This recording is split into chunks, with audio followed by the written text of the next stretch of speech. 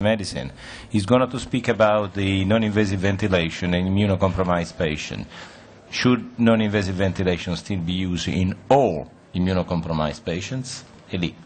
Thank you, Massimo. Good afternoon. Bonjour tout le monde. Uh, well, the question is more about uh, are immunocompromised patients different than other hypoxemic patients? Uh, the question that is being asked is more about uh, applying non-invasive ventilation in hypoxemic patients.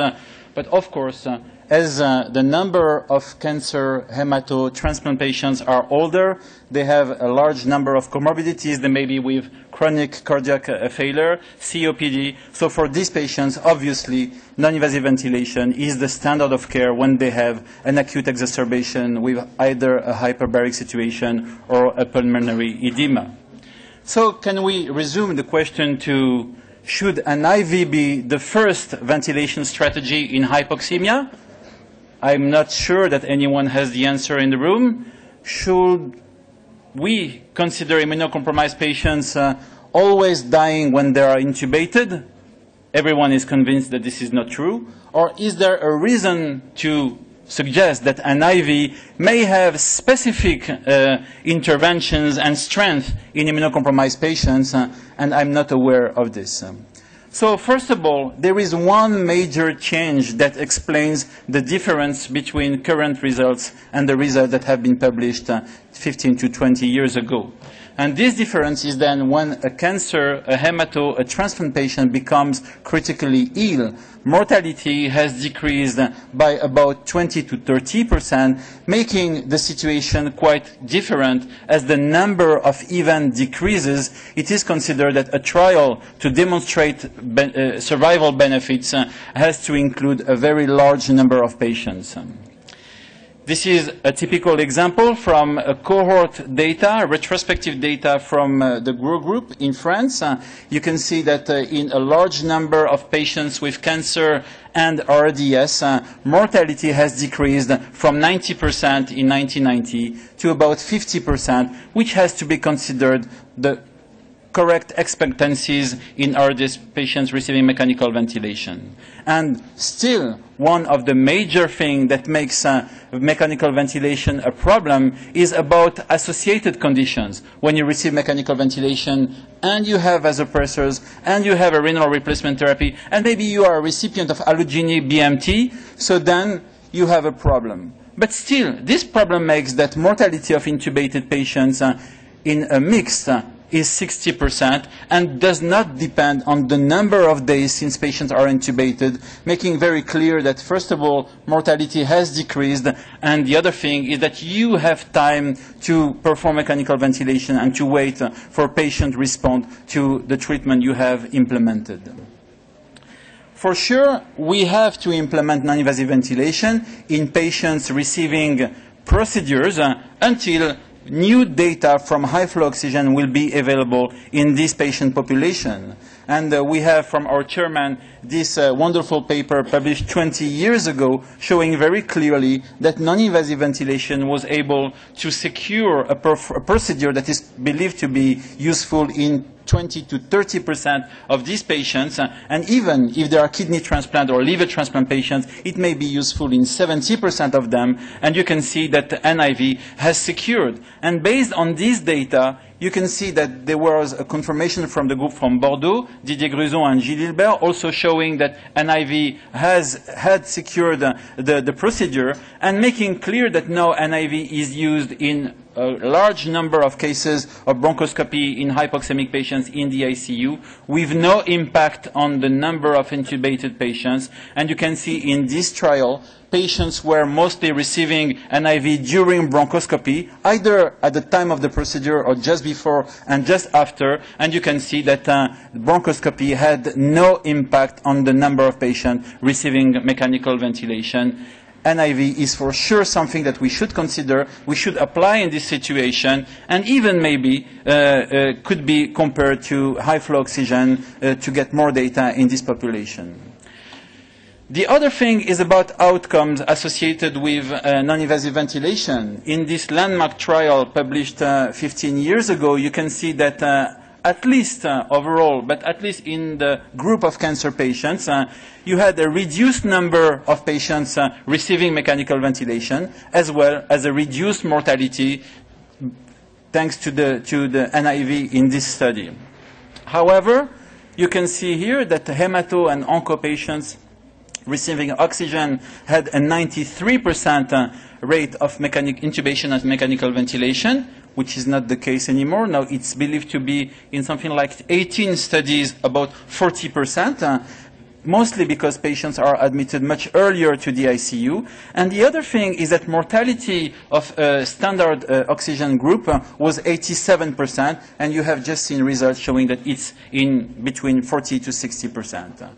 Of course, this strength of non-invasive ventilation was very clear at a time where mechanical ventilation was mostly dreadful in these patients, but may not be uh, uh, anymore uh, true. Another example, in less immunocompromised patients, but they were transplant, solid organ transplant patients, uh, you can see that uh, using NIV, we had an increase from 25 to 70 percent of patients having oxygenation improvement, of having sustained PF ratio that were improved, uh, and also a significant reduced of intubation rate and mortality from 70 and 50 percent respectively to 20 percent. And this is my favorite uh, cohort study, which is not a randomized trial, but a very large and very well done study in immunocompromised patients all of them having hematological malignancies. And you can see that in that large period, 2000, 2006, uh, there is no doubt that at that time there was a huge uh, impact uh, on intubation and survival. Still, if we want to consider the the, the, weaknesses of the technique, uh, we have also to see the other part of the word. And uh, there is a very bad impact of delayed intubation in these patients, uh, and even a study showing that if you are using an IV for too long in hemato and onco patients, then you will have an increased mortality. Another thing is also dependent on the setting. And I'm sure that uh, the main difference between the Squadrone paper and the Wermke paper on applying an IV to allo BMT patients outside the ICU is only about culture and the presence of ICU people outside the ICU. In Italy, it seems routine to have ICU people go around and check and help in Germany, in that BMT transplant uh, uh, group, uh, there were no ICU people, and NIV were not useful. And I think that this makes also a big difference. Um, so to sum up with this literature, we can say that at that time, because of the changing in events and mortality, it was mostly unconclusive, and this is why we designed a trial to try to address the question. The trial was mostly made because of the, the events that were in the 90s were not anymore reliable as mortality has decreased, patients are admitted earlier, and the use of intubation is much less nowadays than 20 years ago. In this trial, and I will take the opportunity to, to respond to, to the two very good comments from Paolo, in this period, for sure, we did not use NIV as uh, an alternative to intubation. The trial was on early NIV in patients having low PF ratio, but at least 6 liters of oxygen, and the median was 9 liters of oxygen at randomization. And of course, they were receiving 8 hours of NIV at day 1, 6 at day 2, and 5 at day 3 more than that would question about the external validity of the trial. More than that, we would say that the patients are not at an early stage of uh, acute respiratory failure. Should we do a trial, and this was a discussion that we had with Massimo Antonelli uh, recently, should we do a trial uh, of NIV in severe ARDS patients uh, uh, who have maybe indications for intubation is still non-resolved and is something that I don't recommend, but I think that it should be a matter of discussion. So in this trial, NIV was tested and compared to standard oxygen, but high flow oxygen was used at uh, clinicians' uh, decision, uh, and we excluded, of course, those patients who were with clear benefit from NIV, patients with uh, COPD and patients with acute pulmonary edema, and as well as patients with multiple organ dysfunction and those who, who needed uh, immediate intubation. You can see that uh, 183 patients were in uh, the uh, oxygen, standard oxygen group, uh, and 191 were in the NIV group. Um, the two groups were uh, uh, with the same uh, uh, uh, characteristics. uh, and if we base our outcome on PF ratio at inclusion and in the following days or on the respiratory distress, we could not report any difference in these patients with early acute respiratory failure and immunocompromised situations. And as a result, you can see that uh, the mortality that was the primary endpoint was 27%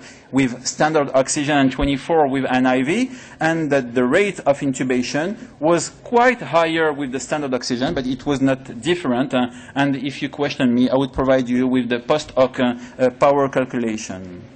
So in practice, I must say that uh, forget the red bars because this is the real life. In the real life, you have many patients who are, who are with a DNI situation, do not intubate, and they are mixed in all the cohort studies. And this uh, OVNI trial that we did uh, with the French and the Belgian group uh, and Alexandre Demoule uh, has make, made very clear that if you take the yellow bars, uh, you can see that uh, immunocompromised patients here, mostly cancer patients, have a 50% uh, survival after NIV when they have a DNI situation. Uh, and in the blue bars, patients with no therapeutic limitations, uh, mortality after NIV for acute respiratory failure, which is here only hypoxemic, is 28%. So we are with consistent data and consistent results. The other thing is that I believe that in a close future, we should stop comparing binary combinations. Actually, we could use everything, intubation, NIV, CPAP, BPAP, any other uh, uh, uh, material, high flow oxygen, after, before intubation, and we should mix all these uh, strategies for the good of the patient. And I'm not sure that one technique should be compared to the other. We should use a combinations of techniques uh, rather than one uh, versus B.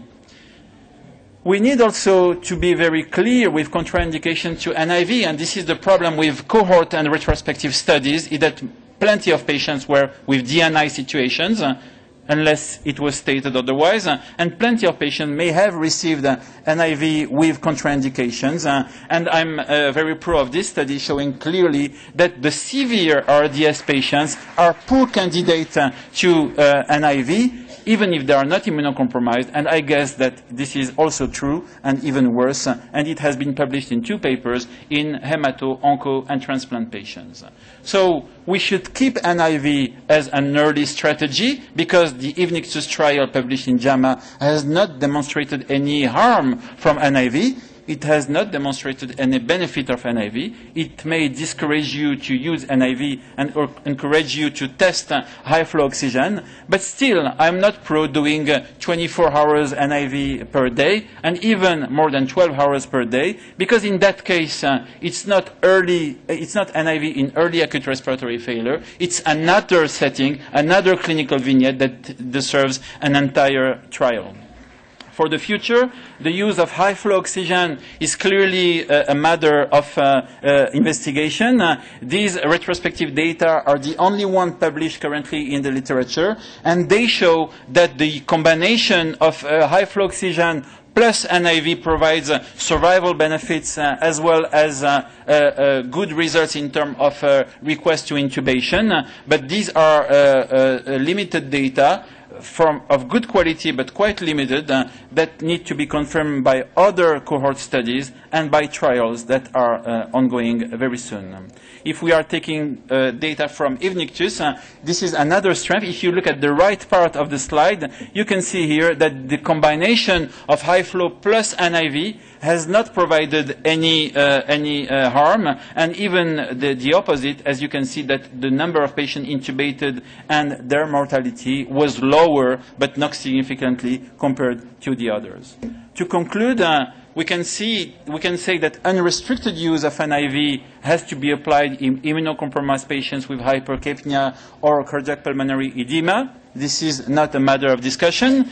We can use NIV, and we do that on a daily basis to secure procedures, uh, and uh, we are looking forward to having data from uh, high flow oxygen in this education. Um, we can say very clearly that, to my opinion, NIV is not uh, an alternative to intubation in hypoxemic patients.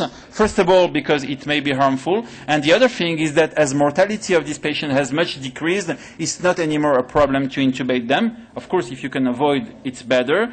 NIV should be used in patients with severe, should not be used in patients with severe RDS and those with um, multiple organ dysfunction. And in the Invictus trial, NIV was ineffective in patients with early acute respiratory failure, but no harm has been reported. Thank you very much.